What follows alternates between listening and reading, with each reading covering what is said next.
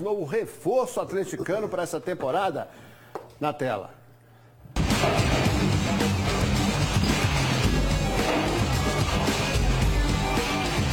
Eu acho um projeto muito bom porque mistura a juventude com a experiência. Tem Vitor, tem Leonardo Silva, tem Ricardo Oliveira.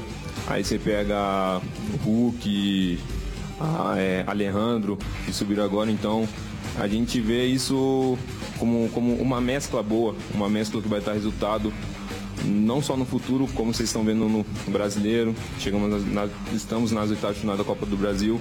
Então isso no dia a dia a gente vai, a gente vai ajustando para entrar da melhor forma dentro de campo. Eu venho como zagueiro, mas se quiser jogar na lateral esquerda, não tem problema nenhum. Como todos vocês sabem, no Curitiba e no Palmeiras eu fiz bastante essa função.